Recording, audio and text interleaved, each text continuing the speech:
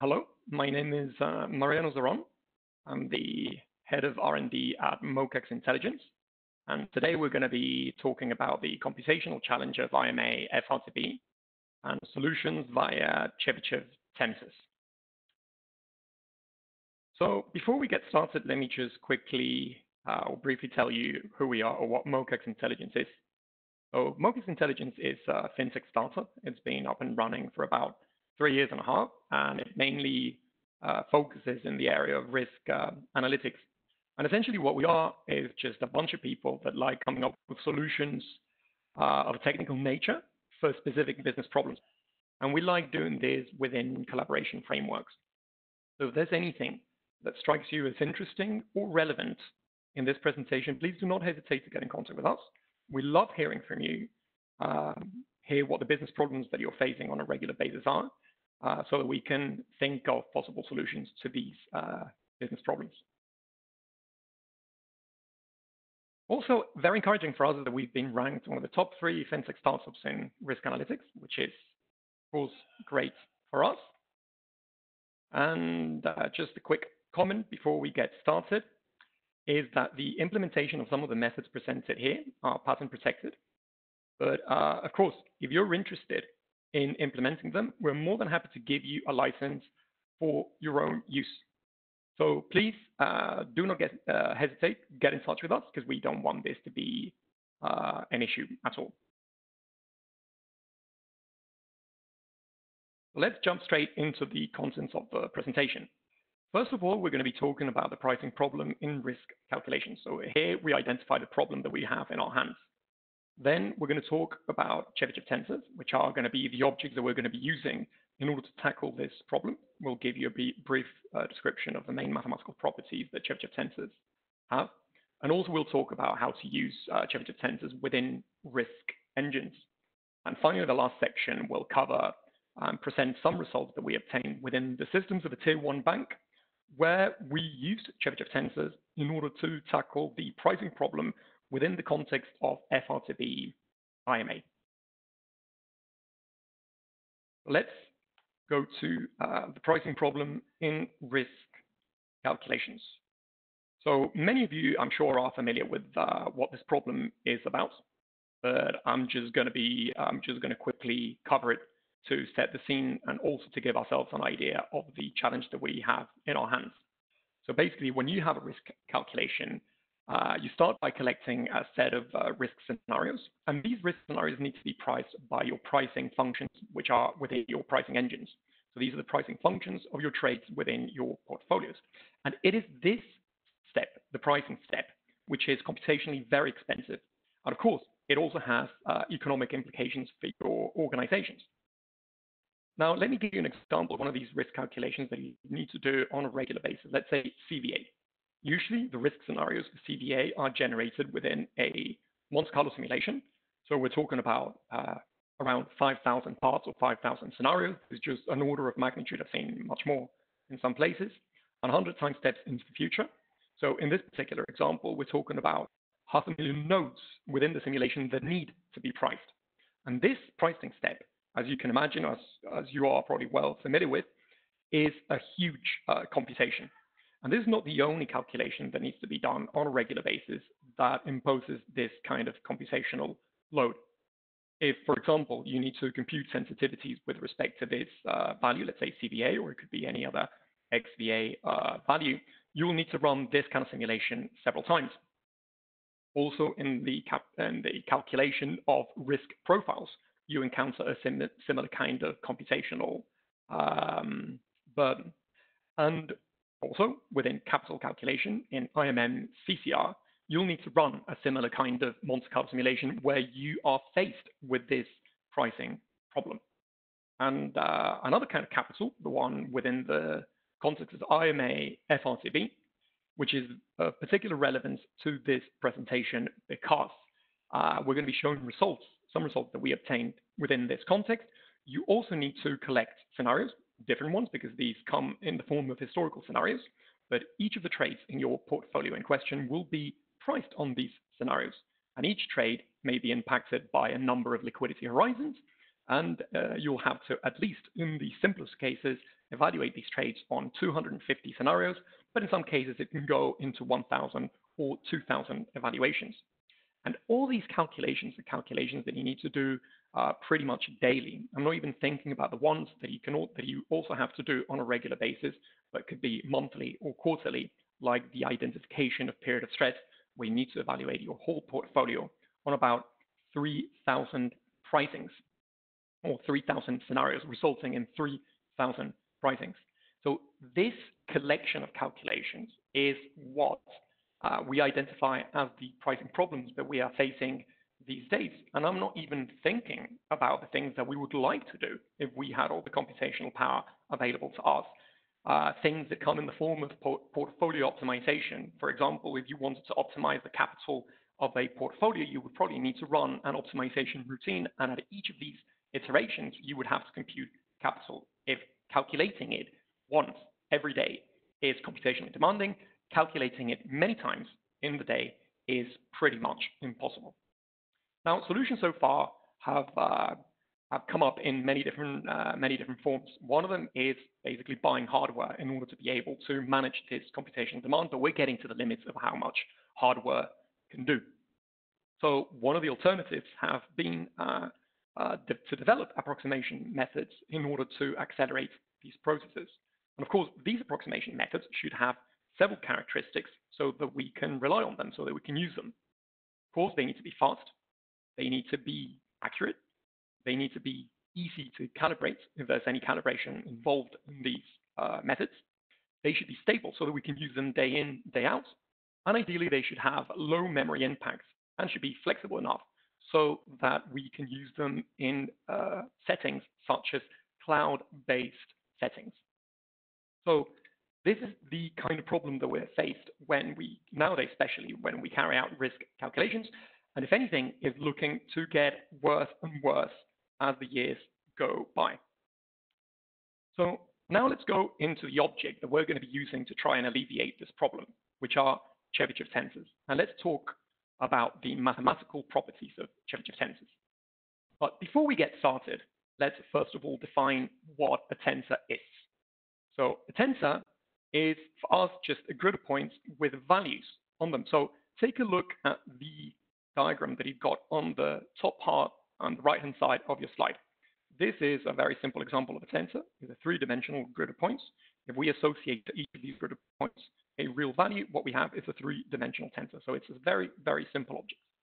Associated to a tensor, we have a polynomial interpolant. So a polynomial interpolant is going to be associated to a tensor in the following way. So let's take as an example, a very simple example, a one-dimensional tensor. So we've got here on the right-hand side, a one-dimensional grid of points with black dots. Associated to these black dots, we've got these red stars. These are the values which accompany the grid of points that define the tensor. And there are, you, there are unique um, conditions under which there is a unique polynomial interpolant that goes through these red stars. So the important thing for us is that starting off with tensors, then there's an associated polynomial interpolant that will be uh, associating to this tensor. Now, why are we interested in these uh, in these tensors? We're interested in these tensors because we want to use them to approximate functions. So take a look at what you have here at the bottom right-hand corner of your slide. In black over here, we've got a function. And if we start with that function, we can define grids of points over here on the domain. That defines part of the tensor. Then we can evaluate the function on those grid points, and that defines the red stars that we've got here. And with a tensor, we can then define the polynomial interpolant associated to the tensor, which is given by these dashed, by this dashed red curve. And the idea is that we'll define, or we can easily define a sequence of tensors in the following way. We can start incrementing the granularity of the grid of points defining a sequence of tensors. And for each of these tensors, we've got an interpolant. And with that, we've got a sequence of interpolants that hopefully will approximate closer and closer or will converge closer and closer to the function in question. So this is the aim, basically. And I'll go back to the previous slide and quickly go through it because it's important to understand exactly what is it that we're talking um, about. So we say that we started off with a tensor. Tensor is a grid of points with values on them. Here on the right-hand side, we've got a three-dimensional example of it. Now, associated to a tensor, we have polynomial interpolants. Let me give you a very simple example of how we can come up with a polynomial interpolant starting from a one-dimensional tensor. So on the right-hand side here, we've got a one-dimensional grid of points. Associated to these grid of points, we've got red stars. These are the values that complete the tensor. And under the right conditions, I'm not going to go into which conditions these are, but we'll always have them. There's a unique polynomial interpolant, of course, of certain conditions with certain characteristics. The main characteristic is that this polynomial interpolates these points. So starting from a tensor, you get this polynomial interpolant. Now, why do we look at these tensors and associated polynomial interpolants? The reason is that we want to approximate functions. So take a look at this diagram at the bottom. If we start with a function, which here is the black curve kind of denoted with my uh, laser beam, um, associated to this function, we can always define a grid of points that you see here at the bottom. These grid of points can be distributed any way whatsoever. Then you use the function to evaluate these grid of points. You obtain these red stars. And with that one-dimensional tensor, then you can define the associated polynomial interpolant that is an approximation to the function. Now, what we do is very easily, we can adjust or change the number of grid points that define the tensor, and this gives us a sequence of interpolants that hopefully will approximate the function. So that is basically the idea. However, one of the problems with this is that unfortunately, due to a couple of results that came about in, at the beginning of the 20th century, polynomial interpolants don't have or don't enjoy or haven't enjoyed throughout the 20th century a very good reputation. First of these results uh, came about in 1901 by Runge. What did he find? He found a very well-behaved function that nowadays is known as the Runge function. It is an analytic function, so it enjoys high degrees of smoothness, for which these tensors defined through equidistant points and the associated interpolants that are defined through these tensors diverge exponentially away from the function. So basically the opposite effects of what we would like to have. And at the same time, we had uh, a result that came about in 1914, uh, proved by Faber, that says that if you restrict yourselves to the class of continuous functions, which is a very reasonable class to restrict to, there is no interpolation scheme that works for this class of function. So on the face of it, even though polynomials are very good objects to work with because they're very simple objects to start off with, unfortunately they didn't seem to have the right properties as approximating, as approximating objects. However, one thing that has often been missed even uh, within academics that specialize in the area of approximation theory is that if you change a couple of conditions, then you completely change the results. First condition is how you distribute your points upon which you're going to define the tensor. And the right way to do it is through Chebyshev points. Take a look at the bottom right-hand corner of your slide. Here we've got an interval that goes from minus 1 to 1. And we take the semicircle, the upper half of the circle, or the unitary circle, denoted here by blue, take equidistant points on these unitary circles and then project them down to the real line. That defines Chebyshev points. So notice they're going to be agglomerated towards the endpoints. The analytic definition, you can see it here on the left-hand side, is the, the one-dimensional case. This can be generalized to higher dimensions without any problem. One thing to notice is that they're very easy to define and very easy to implement in a computer. And the second condition uh, that changes the whole result on interpolants um, is related to the class of functions that we need to restrict ourselves down to. That is the class of analytic functions. Basically, by taking these two restrictions and uh, collecting quite a few results that came about uh, throughout the 20th century, and some of them actually more recently in the 21st century, we obtain this theorem that for us is key.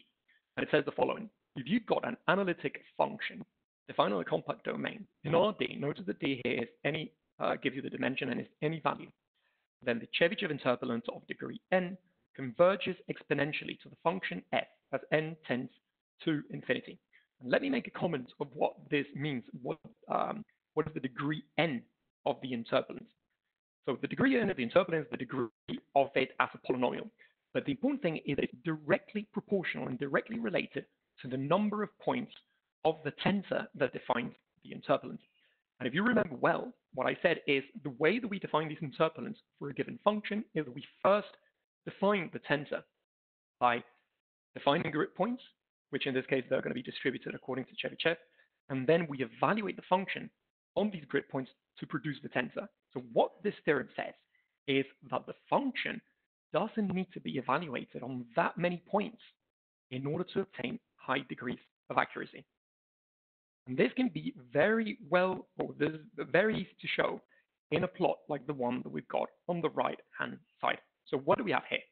What we did is we took a two-dimensional function, in this case is a spot vol surface, and we considered a collection of tensors where we started increasing the number of grid points on the tensor distributed according to Chebyshev. So what we have is a collection of Chebyshev tensors and associated Chebyshev interpolants. And for each of these interpolants or tensors, we measured its error or the degree of accuracy with respect to the two-dimensional function. And if you see here on the plot, on the x-axis, we've got the number of points on the tensor. The y-axis is the error of the corresponding tensors in log scale. This is very important. And this here, these points here, the red dots and the lines joining these red dots represent the decay, which clearly can be seen to be exponential, the decay of the error as you increase the number of points on the tensor. At the same time, we also considered another tensor. This tensor is defined by equidistant points. And the interpolation that we used was linear interpolation. And the errors, as we increase the number of points on the tensor, are given to you by the blue dots. You can clearly see the difference between the two. Whereas this one experiences exponential decay. Notice that we've got here log, um, a log scale on the y-axis. For the other sort of tensor, we have a very, very slow decay. Let me give you, uh, let me point you in two particular sections of this plot. Let's say that you've got uh, here for 250 uh, grid points with Chebyshev tensors, we obtain an accuracy of 10 to the minus 7. Whereas with this other sort of tensors, we obtain something of the sort of 10 to the minus 1. If we decrease the number of points, grid points, all the way down to about 15, we have that the Chebyshev points or the Chebyshev tensors have an accuracy of about 10 to the minus 1, which is the same accuracy that we obtained with the other tensor, but we had to increase it all the way up to 250. So there's a big difference in the number of times that you have to evaluate your function in order to produce the tensor that has the same accuracy. Here for Chebyshev is about 15, and the other one is 250. This is basically what comes as a result of this theorem over here. Now, all this is good, but it's mathematics so far on paper, this uh, exponential uh, convergence. And we're in the business of implementing these things uh, on a computer. Now, as we all know, uh, computers uh, make rounding off errors all the time. And unfortunately, some algorithms that should give you some results on paper often give you a completely different result. And this is because they are numerically unstable. Now, the right algorithm to evaluate these interpolants, the Chebyshev interpolants, comes in the form of the barycentric interpolation formula. The one-dimensional formula or case is shown here in the middle of your slide. Of course, it can be generalized to higher dimensions, but there are three main properties that I would like to highlight about this formula. First one, as I said, is that it's numerically stable, so it's unaffected by rounding off errors on your computer. The second is that it evaluates in linear time with respect to n, where n is the degree of the interpolant, which, as I said, is essentially the same as the number of points on your tensor, which is the number of times that you have to evaluate your function on the grid points to define your tensor. So it is very, very, very quick to evaluate. And third, and also very important, is that the only bit of information that this formula needs in order to be able to evaluate these interpolants are the Chebyshev points, which here are denoted by xi, and also the values of the function on these Chebyshev points. That is it. Basically, what this means is that, you don't need to take an extra step to go from the tensor to the interpolant in order to then be able to evaluate it. The tensor information is all that you need. Once you've built it, you're ready to use the barycentric interpolation formula, which is very quick in order to be able to evaluate, which ultimately is what we want these tensors to do.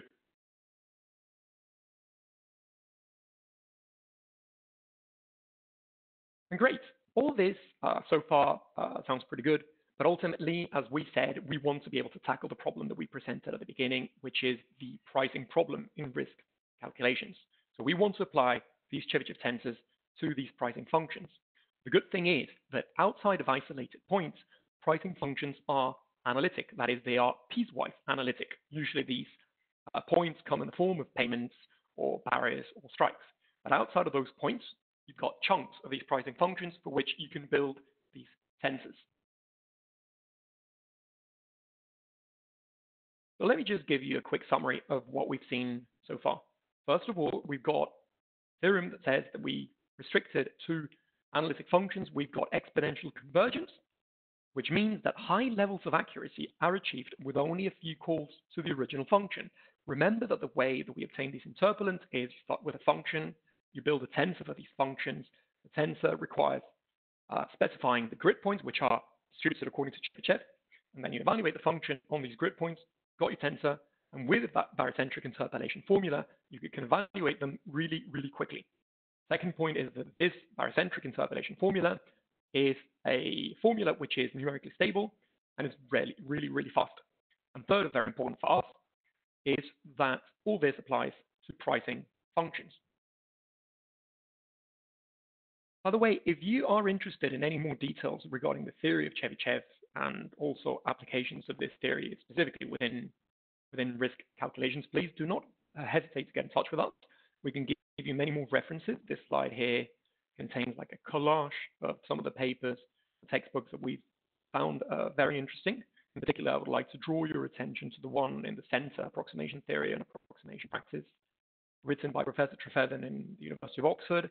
He's been uh, working for many, many years with uh, Chebyshev's spectral methods. He's, uh, I would say, been one of the, the people within academia responsible for highlighting some of the advantages that come with uh, using Chebyshev points and Chebyshev sequences and, and so on. Uh, at the end of the presentation, you'll see a slide that has written uh, references that you can use in order to take a look at, at these papers that contain much more information, of course. Um, and of course, if you want to get in contact with us, you'll see at the bottom of these slides, there's my email address. Also, you'll see the address, uh, the link to our website. Feel free to visit it. Feel free to contact us anytime that you need, that you have a question regarding this or the applications of the theory within, within finance. And um, as I said, we've got a website. And in the website, you'll be able to find quite a lot of resources if you're interested in anything regarding the theory of Chebyshev and also the way that you can apply it within, within risk. Uh, you'll see when you go to our website, there's this uh, section here, research. You'll find some of the publications. Uh, you'll also find ways to contact us. And also one of the things we've come up with that, uh, that people have found so far really useful are a collection of videos that we've uh, put up online where we explain some of this, uh, this methodology and also how it, it can be applied with your, within your own systems. And also, we've implemented a lot of these methods in our own library that you're more than welcome to download from our website. So take a look at it. You can download it. You can get in contact with us, ask us how to uh, use it, to best use it. I mean, we've got quite a bit of experience with it, so we can point you in the right direction. So now let's get into the next section, which is, okay, we've already seen what these Chebyshev tensors are and some of the mathematical properties behind them. But ultimately, we want to be able to use them within risk calculations. And that uh, implies uh, basically incorporating them into risk engines. This over here, let's focus first on the top part of the slide. This flow diagram depicts the typical way in which risk calculations are done. This is the one which uses your own risk systems. So you start by, first of all, collecting a collection of risk scenarios. As an example here, I use 5,000 of them. Once you collect them, then you pass them to the pricing engine. where they meet the portfolio, and your pricing functions get called on all these 5,000 scenarios in order to produce a distribution of prices. Now, this step, exactly this is the step that we've identified as a big problem, which is the pricing problem in risk calculations. And it comes, as you can see, because of the number of times that you have to call your pricing functions on all the collection of risk scenarios which are involved in the calculation. But once you've gone through this uh, point and you have your price distributions, then you can come up with all the risk metrics that you're interested in, which could be CVAs or capital values, and so on and so on and so on. So this way of computing uh, your risk metrics is what we call the brute force approach, and it's our benchmark. If we had all the computational power available to us that we need in order to be able to use these risk um, engines on a regular basis and to do all the calculations that we would like to do, and this is what we would use. The routines are very accurate, but unfortunately come uh, at a cost, which is the computational cost that I've been talking about. So with Chebyshev tensors, let's say your own implementation or our own library that we call the MoCaX library, how do we use such an implementation? How do we use Chebyshev tensors within this, uh, these risk calculations? So actually, a lot of it is not changed. So you start with risk scenarios, the 5,000 scenarios that I gave here as an example. Those are collected in the same way as you would normally do. But then the next step is the key one. You go from these scenarios to building your Chebyshev tensor. And remember that in order to build a Chebyshev tensor, what you need is first of all specify the grid points of the tensor. And this is the first step that needs to be done. So you go from these risk scenarios to identifying which are going to be the grid points for your tensor. And this, this is key. Let's assume that we've already done that. Once we've got those grid points, then you pass them to the pricing engine. You price all these grid points because that's what you need in order to obtain your Chebyshev tensor.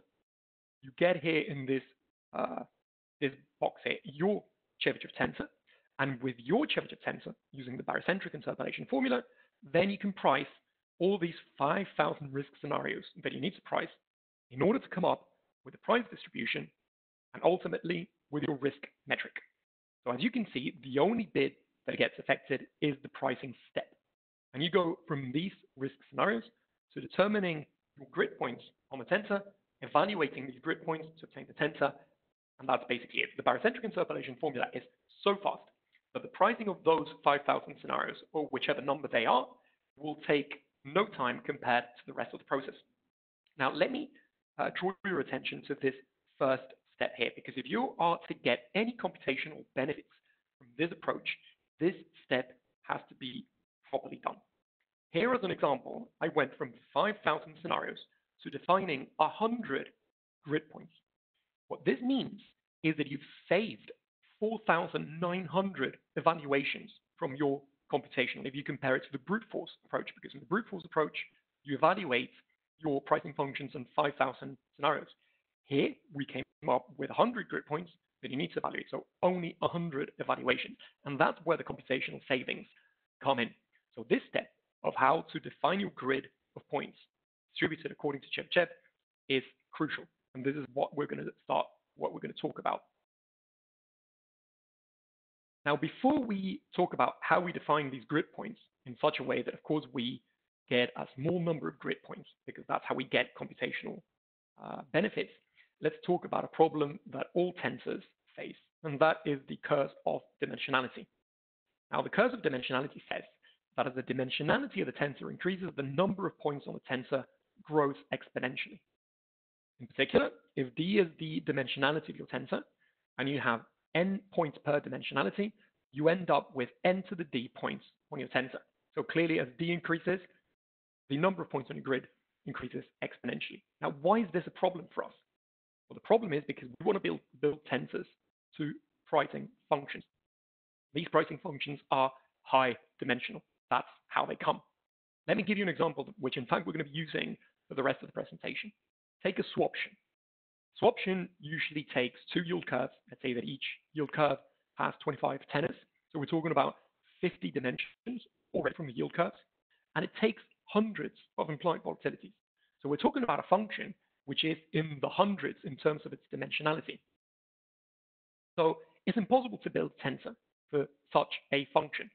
just to give you an idea of a tensor that has two points per dimension, which is nothing, which is the minimum, uh, the, the minimum in fact. And a tensor of 100 dimensions, we would define 1.27 times 10 to the 30 grid points. And this, of course, is just impossible to build, at least uh, from the outset, naively, let's say, if you want to evaluate each of those points and you want to save them in memory. So the question is, how do we sidestep this problem?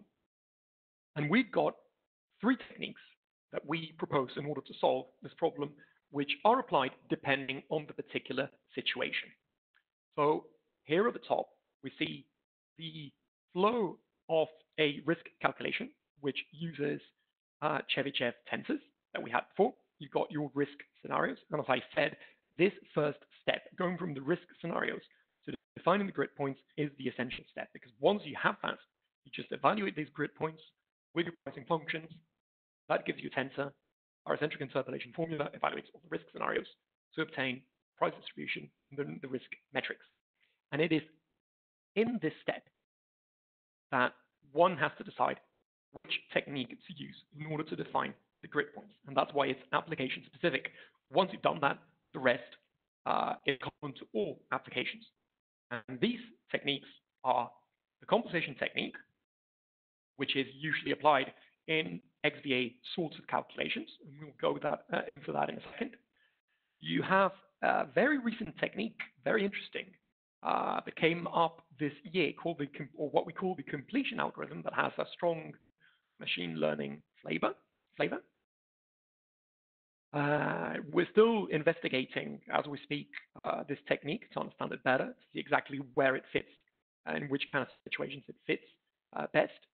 And the last of these techniques is called the sliding technique, which uh, usually gets applied in contexts like FRTB and it's of particular relevance to us because we're going to be presenting results that we obtain within a real uh, risk engine of a bank uh, that uh, where we used this technique in order to tackle the pricing problem in the FRTB case. Let's go first into the composition technique. As I said, this technique gets usually applied within Monte Carlo simulations where we use low dimensional models.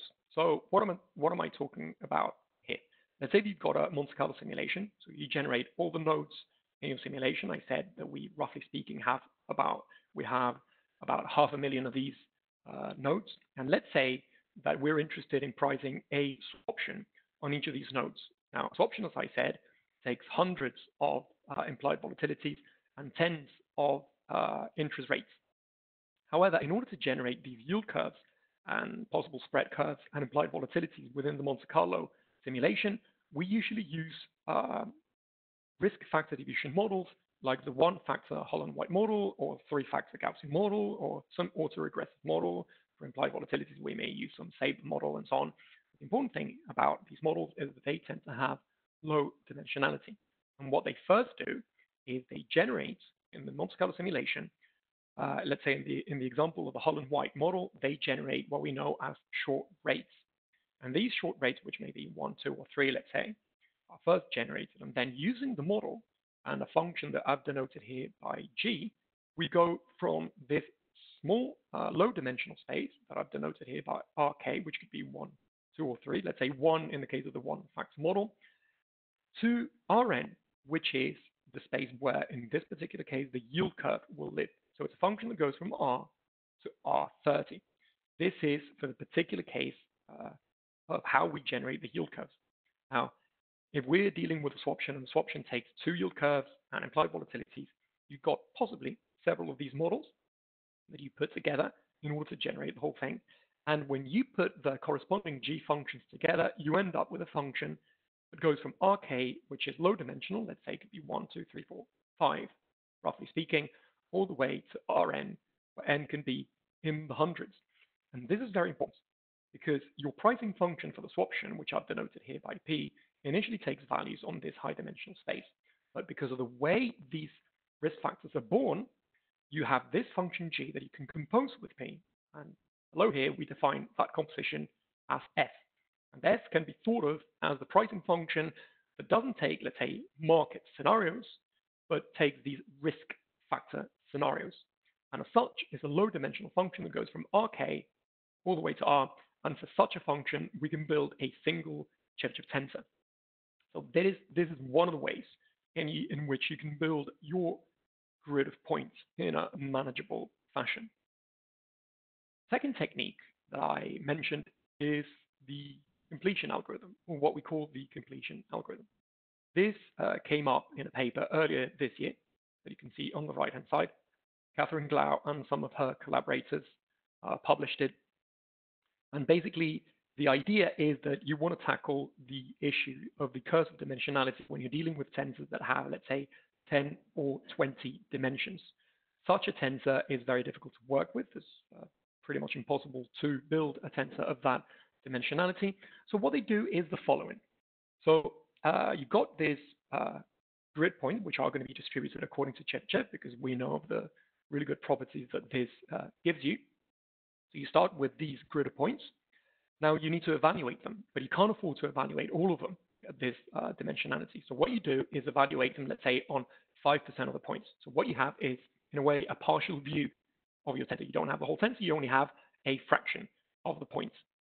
And then what they do is focus or restrict themselves to a class of tensors, which are called, or these are tensors expressed in TT format of low rank.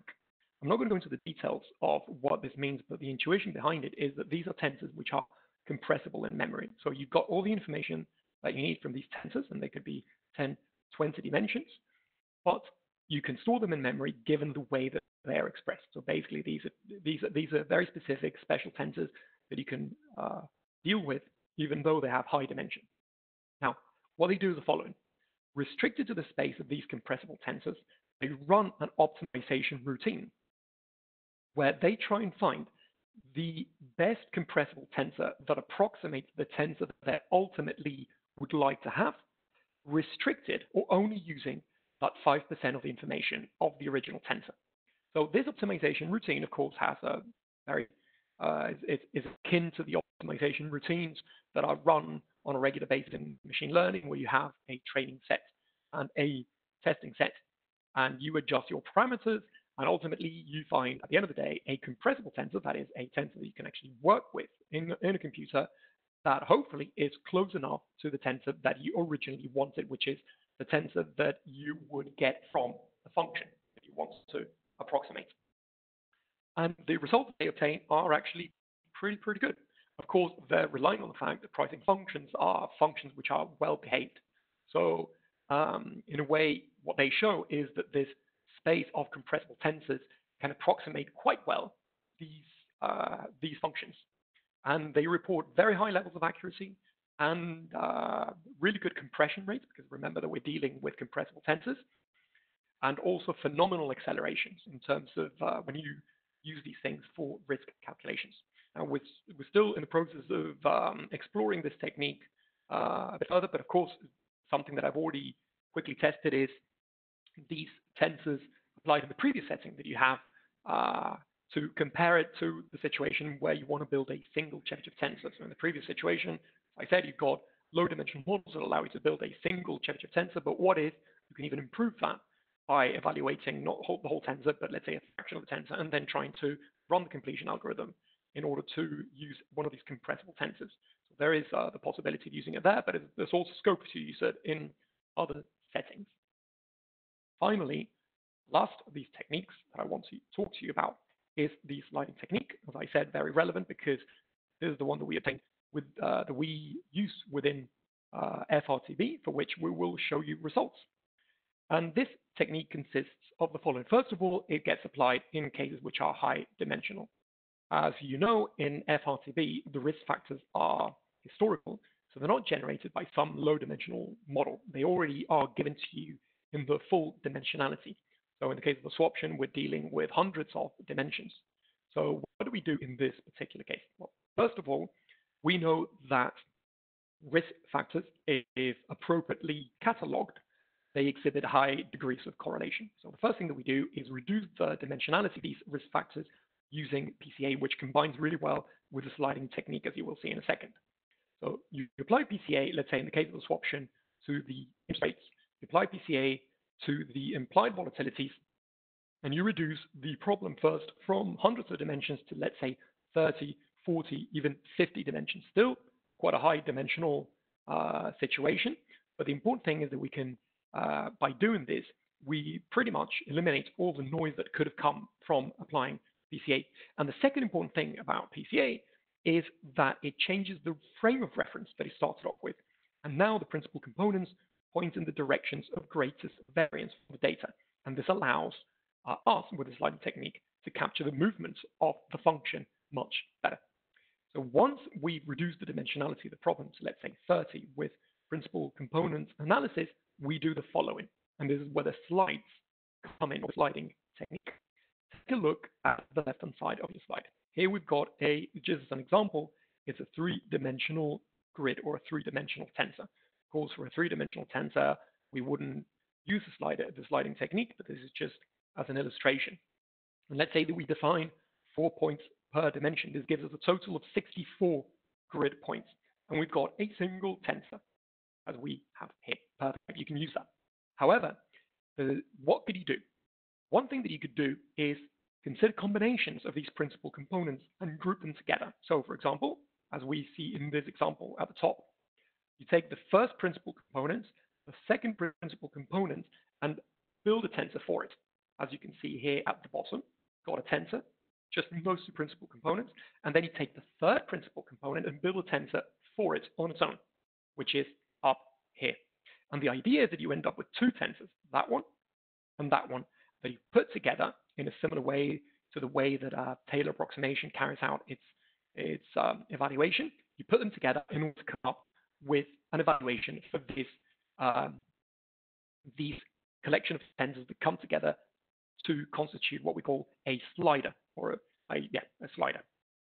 Now, the important thing to bear in mind is that when you build a tensor, let's say for the first principal component and the second principal component, you're really capturing well all movements of the function in the space spanned by these principal components, which in themselves capture the movements of the risk factors. So in this way, it has a huge advantage over something like Taylor approximation. Now, just in the way that we put PCA, uh, the pr first principal component and the second principal component together, and then separate the third, we can take a more extreme approach, like the one that we've got at the bottom. You're free to take any combination whatsoever, and you can build three tensors first principal component for the second principal component and separate third principal component. And again, in the same way, you can put them together in order to constitute your grid point. And notice what has happened to the size of the um, mesh that constitutes the tensor. From the full tensor in three dimensions, we went from 64 to this other one that has 20, and this other more extreme case, which has 12. And this is the way that we sidestep the problem of the curse of dimensionality in this particular context. So as I said, these are the three techniques that can be used in order to go from the set of risk scenarios to defining the grid points on your tensor. And this slide, uh, we put it here so that uh, we get an idea of what are the sort of areas where we could apply these three techniques and the sort of results that one that we have normally seen. So for example, here on the left-hand side, business line, we've got market risk capital, FRTB-IMA. We normally see computational savings of about 90%. What does this mean in terms of the brute force approach that uh, one would love to be able to use? Well, for every one hour of brute force approach, that gets reduced down to six minutes if you use these Chebyshev tensors. Now, these six minutes are entirely the time that you take to build these Chebyshev tensors. Remember that in order to build them, you first of all define what the grid points are. And these, once you've uh, defined how you're going to come up with these grid points, then uh, producing them on a computer is immediate. It doesn't take any time. Then come these six minutes, which would be the time that you would evaluate your pricing functions on these grid points. And once you've produced this or these tensors, you evaluate them with the barycentric interpolation formula, which literally takes no time. We're talking about microsecond range. When you compare that to the rest of the process, that is absolutely negligible. So really the computational time comes in, uh, or you can calculate it by uh, the number of times that you are not evaluating your pricing function. And as I said here, a 9% computational saving, savings corresponds to roughly every one hour of brute force approach down to six minutes. And for any other business line that we've tried, say XVA pricing, XVA hedging, we see similar kind of savings, 90, 95%.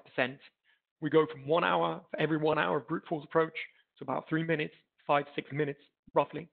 In the case of dynamic initial margin, where one is interested in computing dynamic sensitivities, the computational savings are enormous. This has to do with the fact that the brute force approach is very expensive in this particular case.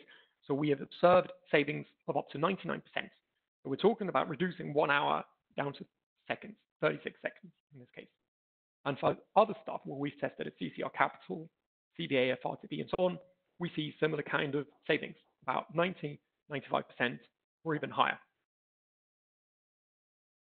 Now let's go to the final section of the presentation where we present the results that we obtained from this case study carried out within the systems of a tier one bank. First of all, let me give you a bit of the background. So uh, we're interested in computing capital the FRTB IMA. This requires a calculation of expected shortfall with different liquidity horizons. This is, as you, I'm sure you're, uh, you're aware of, a massive computational, imposes a massive computational demand. Now, the POC was, uh, was very specific. We had 10 weeks where basically we had to use the MoCaX methodology in order to optimize the pricing process, which is, as I said at the beginning, the main problem that we're focusing on. What was the scope of the test? We were given two portfolios, one of swaps with 635 swaps, one of swaptions with 425, both single currency. We were given a total of 3,000 scenarios, roughly. It was a bit more than that, which corresponds to about 10 years worth of historic data. And it was specified that we were to compute expected shortfall for these 3,000 scenarios and also for the last 250. And there were very clear objectives. First one was that MoCaX technology should reduce the computational burden by at least 50%. The error, which was measured at the level of expected shortfall, shouldn't be more than 10%, the benchmark being the brute force approach that I've mentioned. And third, we have to show that the these Chebyshev, Chebyshev tensors implemented in our, in our software and the MoCaX library uh, were to be integrated into the systems in a seamless manner. As I said, the technique that we employed was the slider technique uh, alongside with PCA. As I said, we were talking about, we were dealing with swaps, we were dealing with swaptions. Swaps depend on two curves, one for forwarding, one for discounting, the same as swaptions. We had implied volatilities in the case of swaptions, so we're talking about hundreds of dimensions for swaptions and tens of dimensions for swaps. Uh, in both cases, we applied PCA, separating interest rates to implied volatilities and applying PCA to each of them. When you put them together after applying PCA, that gives you the domain where you have to build your slider. In the case of a 30-dimensional slider that we want to build, for example, in the case of swaptions, still a single tensor is impossible. We're talking about tensors with 9.3 times 10 to the 20 points, so completely unviable. However, using the slider, we were able to reduce it down to about 150 points, which is perfect for what we're interested in because this is less than the number of times that we'll have to evaluate the scenarios that we were given. And of course, uh, given that it's a combination of two techniques, PCA and the slider technique, we had two sources of noise in this uh, in this technique, one coming from PCA, the other one coming from the MoCaX slider. And here on the right hand side, we've got this diagram to show roughly what we were doing.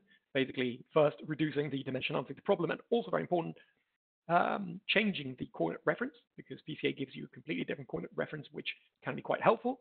And then on that domain, build your tensors. So what were the results that we obtained? These are the results for swaps. So portfolio and factors. I said we were given 635 swaps, evaluated on 3,131 historic shocks. We started with 54 dimensions. That was the dimensionality of the pricing function for the swaps, because these are the number of rates of tenors that we were given for the uh, yield curves. That was reduced down to 20 dimensions with PCA. Notice that we're going quite far into the, the principal component space with the idea of not just keeping 2, 3, which is normally what people use PCA for, because in this way, by going up, we capture most of the movement of the data, which is also what we're interested in doing. And at the same time, this doesn't impose uh, any difficulty for the sliders. We can build sliders of that dimensionality without much of a problem. Now, the results, computational gains were really good, 96.77%. This is basically how much we've reduced the computational cost with respect to the full uh, brute force approach. The accuracy at the level of expected shortfall was at 0.02%. And also something else that we were asked to do was to uh, compare the two P&L distributions from which you compute the expected shortfall. The two ways that uh, we were supposed to do it, one of them was by computing the correlation of the two P&Ls, in which case, in this particular case, we obtain a correlation pretty much uh, essentially one. And the other way of comparing the distributions was through the Kolmogorov-Smirnov statistical test, which is a test designed to identify if there's evidence of two distributions not being the same. If the p-value associated to this test is low, let's say less than 0.05, then you've got evidence to suggest the distributions are uh, not the same. In this case, we've got a very high p-value, which means there's no evidence whatsoever. Take a look at the plots. On the left-hand side, we've got the comparison of the two P&L distributions. On the y-axis is the P&L distribution obtained with MoCaX, and on the x-axis of the P&L distribution obtained through the brute force approach. If these distributions were to be identical point to point, we would obtain a perfect diagonal, which is very close to what we get in this case. So these are very, very good results. And on the right-hand side, we obtain the result that ultimately we wanted, which is the expected shortfall value, because ultimately that's what is used to then compute the capital value, which ultimately is the whole point of this um, calculation. And we see here this bar, blue bar, gives you the value of the expected shortfall through brute force, and the red dot gives you the value of the MoCaX expected shortfall. They're basically almost the same. barely, uh, you can barely distinguish them from the plot. The black line is just the error threshold that we were given. So really good results for these swaps. Now let's take a look at what we obtained for swaptions. Now, for swaptions, we had the added um, issue that there are two liquidity horizons to consider. The first one is the 10-day liquidity horizon, which is on the left-hand side, which, and you compute the expected shortfall by shocking all the risk factors, so yield curves and implied volatility. We had 3,108 uh, scenarios in this case. Uh, we had 415 risk factors, meaning that this is the dimensionality of the pricing function. And we had 425 trades in the portfolio. We reduced the dimensionality of the problem to 30 dimensions, and the results that we obtain are below here. The computational gain is of 95%. The ES error is of 0.36%, so nothing. And again, correlation and p-value of Kolmogorov-Smirnov test are very, very good. Now, the other liquidity horizon that we have to consider in the case of these options in particular, because different trades get affected differently, was the 60-day liquidity horizon. Here, yield curves are fixed and implied volatilities are shocked.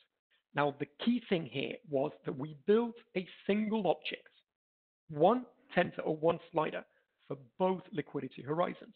And the way that we did it means that independent on the number of liquidity horizons we could have had another two, we would have been able to reuse that object. And that is key because remember that the the only uh, overhead incurred by using these Chebyshev tensors comes in the form of building the tensor. So once you've built it, you can reuse it for many different things, and it will be uh, you can use it very very quickly or very efficiently because of the barycentric interpolation formula. So in this case, you can see here below for the computational gain, we've put it at 100% because we want to highlight the fact that we built a single object for which you have a computation gain with respect to the 10-day liquidity horizon, but when you reuse it for the 60-day liquidity horizon, given that it takes almost no time to evaluate these 3,000 scenarios, you don't have any overhead in terms of the building of the object. You already have your object built. And with that object, we obtained very good ES error of 2%, 2% and also the correlation and p-value the, of these distributions was very, very good. Now, we were also asked, as I said, uh, to take a look at what happened when you only took the last 250 scenarios, which are used for the capital calculation of a day. So in this case, uh, the, on the left-hand side, you'll see the results for swaps, which are only affected by one liquidity horizon, the 10-day liquidity horizon. Again, we say computational gain 100% because there's no building uh, cost involved. We had an ES error of 0.24, really good correlation, really good uh, p-value. In the case of swaptions 10-day liquidity horizon, we get an ES error of 0.19. Again, really good correlation p-value. And in the case of the 60-day liquidity horizon, you get an error of 0.04%. Very good correlation, very good p-value.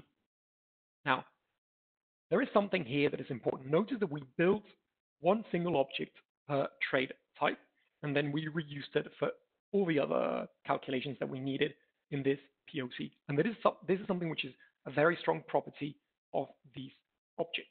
So you may be faced with a following situation that we've depicted in this flow diagram on a, let's say, regular basis. And the purpose of this slide is to illustrate what are the choices that you may have to make. They're not difficult choices.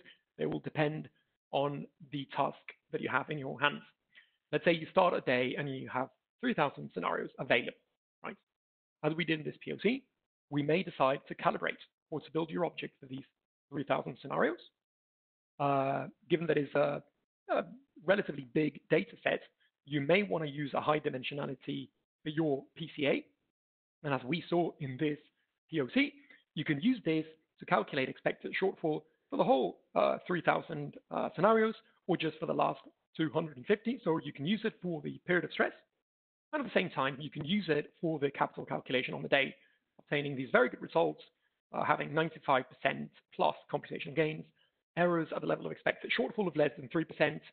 Uh, in the case of the last 250, we even had errors of less than 1%. But perhaps on that day, you don't need to build objects for 3,000 scenarios. You may only need to evaluate on the last 250. So maybe you decide to only build tensors for that, in which case you can afford, given the size of the data set, to use a lower dimensionality for your PCA. And the implications of this are important. This means that the size of your tensor is going to be smaller, hence less cost to your pricing functions, hence you boost your computational gains. And in this case, you're expecting to get something like 90% computational gain with errors of less than 3% at the level of expected shortfall in order to be able to calculate your capital values. Now, on top of all these options that I've already mentioned, you've got the following things that you could do. And we call these um, type of exercises, we call them the what if type of analysis. Now, the thing with these objects, these Chebyshev tensors, they're very simple objects that you can serialize. You can then load them up from memory and use them for any other calculation that you may be interested in. Sure, these calculations that I've spoken about, these are the kind of calculations that you must do, partly because, well, mainly because of regulation and so on. But there are other things that maybe you would like to do. But nowadays, because of the lack of computational power, they're very difficult. And one of them I've already mentioned at the beginning was the optimization of capital. Let's say that you've got a portfolio, but you're not happy with the capital uh, assigned to that portfolio, doesn't align with your risk appetite. What you can do is run optimization routines. And at each of these iterations, you will need to calculate your capital. And what you play around with is maybe taking away a few trades from your portfolio or introducing new ones in order to see what happens with the capital. And of course, these optimization routines usually, uh, in a very smart way, guide you in the direction where you're going to try and minimize this capital. But in order to do this, you should be able, or one must be able to compute capital very, very quickly. But if you've already built for your daily calculation these Chebyshev tensors, then you can reuse them in order to be able to run these optimization uh, problems. And this can give you, of course, uh, an advantage. And of course, they can also be re reused for other things, such as stress testing. But here you open up a whole plethora of options, which can give you a definite advantage. So just a summary on the results that I presented from this POC. Ident we identify three main things which we should focus on. First of all is the computational gain. We're talking about computational gains of 90% plus, uh, considering all these liquidity horizons and, uh, and, with really good accuracy, which is the second point, at the level of expected shortfall. In all cases, we saw errors of less than 3%. And the third, which is very important, is once you've built these objects, you can reuse them very quickly because the only overhead that you incur in this technique is the building of the tensors. Once you have them, barycentric interpolation formula allows you to evaluate them very, very efficiently. Now, one of the things that I've often encountered when I deal with these kind of products is, so I showed you results for swaps and swaptions. We get really good results, but usually people are not that bothered about these kind of uh, trade types because they're considered to be, the pricing routines are tend to be quite fast, and it's true. They tend to be analytic, and they're not that expensive to run. But one thing that one should bear in mind is that they typically constitute about, in conjunction, about 80 to 90% of typical portfolios. So it's very important that any approximation technique that you use, it better work for these kind of products because even if they don't take uh, huge amounts of your computation on a regular basis, they will, just from sheer volume, they will be important and they will take some time. If you reduce 90% of this computation, you will immediately make available quite a lot of computational power that you could use for other things. And if in combination to these two, you add the fact that we've already tested these things in other places, in other, in other POCs, we've already tested Bermudans that even though they don't constitute, uh, in terms of volume, a significant amount of portfolio, they do constitute, because of their computational complexity, which is very high, they do constitute a big part of your daily calculation.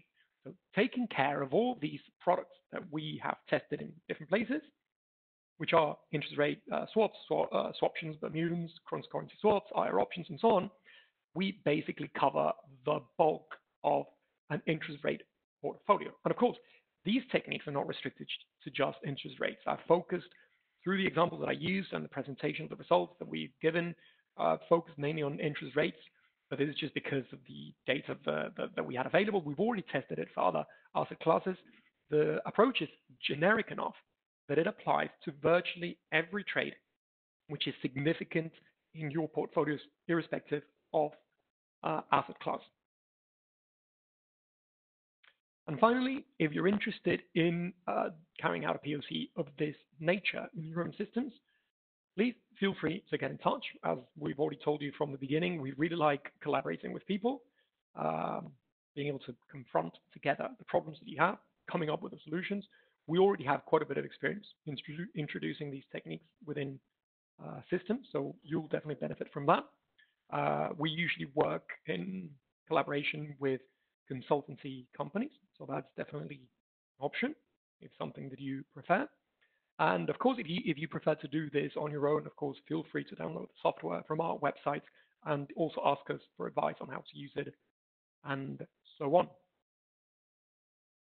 So conclusions that we get from the whole presentation.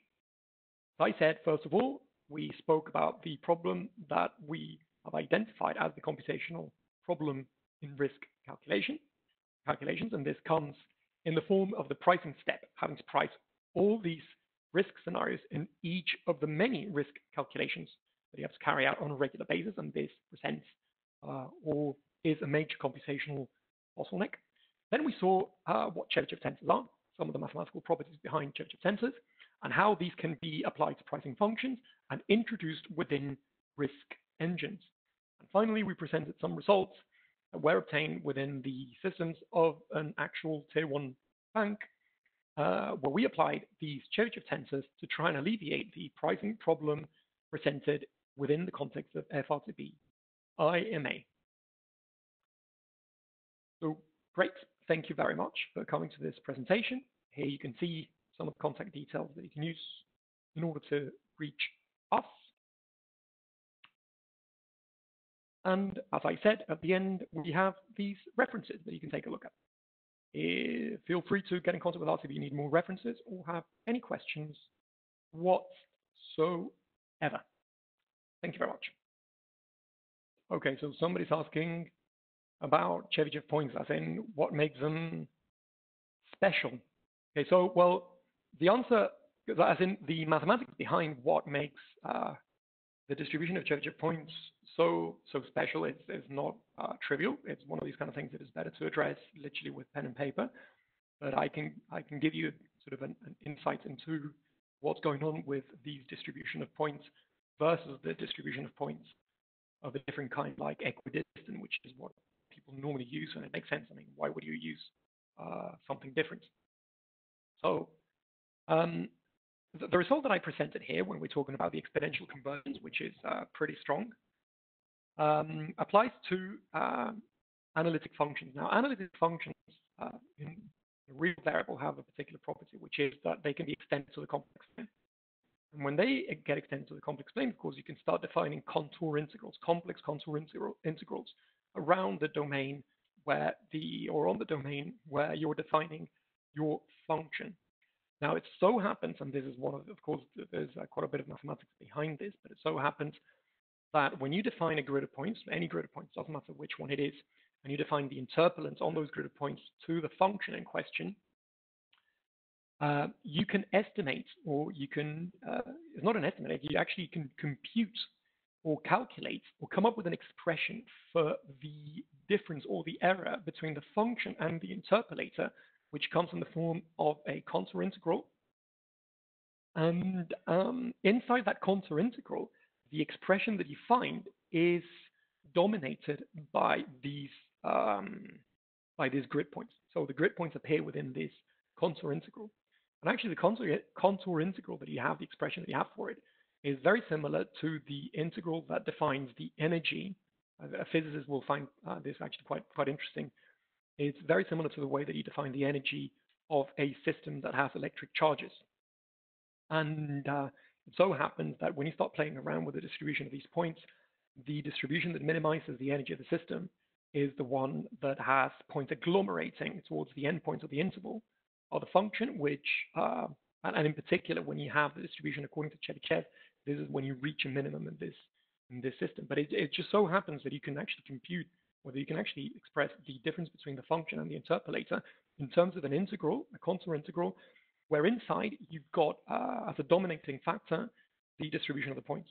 And in very specific cases, you can actually see how you can bound that integral by expressions that converge exponentially to zero, saying that basically, as, as you increase the number of points on your grid, if they're distributed according to Chebyshev, you'll be able to bound the error of the, of the interpolator with respect to the function in an exponential manner. But if you change the distribution of these points, let's say equidistant, in some cases you can actually show that you can uh, diverge uh, away. So I mean, this this is the way that I've always uh, understood it. If you want to take a look at uh, many more details, um, I recommend that you go to Trefethen's textbook. I think there is at least a couple of chapters dedicated to the to these ideas, and you will find further references there because even in, in his textbook, he doesn't cover all the aspects related to uh, the special distribution of points that uh, Chebyshev uh, points constitute. Uh, there's another question that says that uh, it, will this also work with path-dependent products? It does, but the important thing here, again, as I said at some point in the presentation, is that you have to be very careful of how you define your tensors. So you will have to incorporate the fact that you've got path dependencies, but you can definitely do it. A lot of times, one of the things that you have to do is introduce a variable as a dimensionality within your tensor that has precisely this path dependency. And with that, one should be able, I mean, uh, we've, we've applied it in certain contexts where there, there are these path dependencies. And, and so, yes, you, you can do it. So the, the, really, I would say that the only challenge that you are presented with when you work with these kind of things is exactly how you're going to build these grid of points, which has to be in a way which is uh, so that you end up with a small tensor in terms of the number of points on the grid, on the grid points, because that will uh, increase the computational gains but also do it in such a way that you're approximating what you want to approximate. If the function question that you're approximating uh, is dependent on things that happen in the past, in the past, which is path dependent usually within a Monte Carlo simulation, you have to take that into account. So that can be done. Um, I see um, there's quite a few questions actually. So one of them is the, the limit of uh, the limit of number of principal components that can be used. Well, um, in, in principle, the sliding technique can be used for any dimensionality. There's no, in, in principle, there's no restriction to the dimensionality. Let's say in the example that I showed you uh, before, where we were dealing with swaptions that had 415 or so dimensions, we reduced it down to 30. Let's say that you would have, let's say you would have wanted to keep 400 dimensions. Let's say, I mean, in principle, you can do it. Then the only issue is that the slider will probably have many more points that you would like to, but that's like there's nothing stopping you from doing it.